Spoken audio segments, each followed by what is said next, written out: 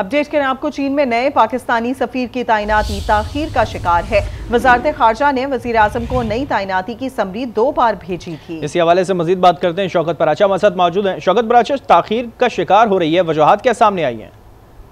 دیکھیے یہ عجیب صورتحال بنی ہوئی ہے کیونکہ بہت عرصے سے پاکستان کا سفیر چین میں نہیں ہے اور جو پرانے سفیر تھے جن کی مدت ملازمت ختم ہو گئی انہیں کہا گیا ہے کہ آپ کنٹینیو کریں۔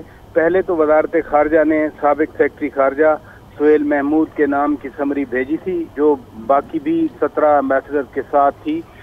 اس میں خلیل ہاشمی صاحب جو اس وقت جنیوا میں ہیں ان کو روس کے لیے سفیر کی تجویز دی گئی تھی جبکہ سہیل محمود صاحب کی تجویز چین کے لیے تھی۔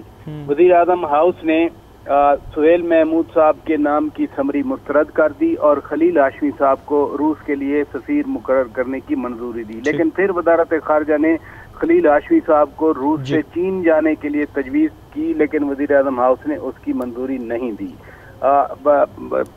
جمالی صاحب خالد جمالی صاحب نے چیک ریپبلک سے روس جانا تھا لیکن ابھی وہ بھی پروسیس رک گیا ہے۔